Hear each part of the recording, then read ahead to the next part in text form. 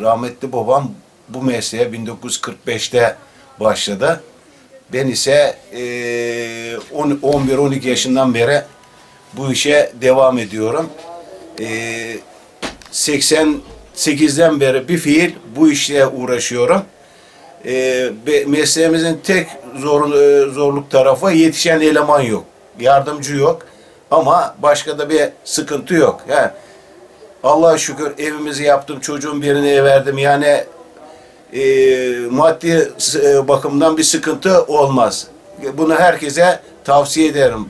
Ben e, 30-35'e bu işi yapıyorum. Yani bu meslekte aç kalacağım olayı yok. Ye- yetişir. Yani mü- benim müşterim senelerdir e, devam ediyor. Çalıştıktan sonra her meslek e, devam eder.